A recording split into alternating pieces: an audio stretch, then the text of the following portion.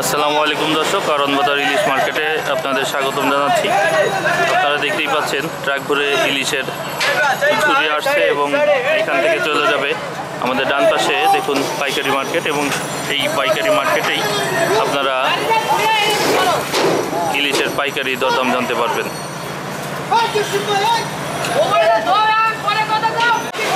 Truck থেকে এবং এই মাছগুলো চলে যাচ্ছে সোজা পাইকারি বাজারে।